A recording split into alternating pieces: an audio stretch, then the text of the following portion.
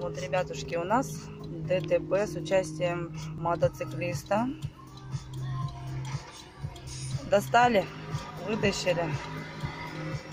Вот так вот у нас ездят гонщики.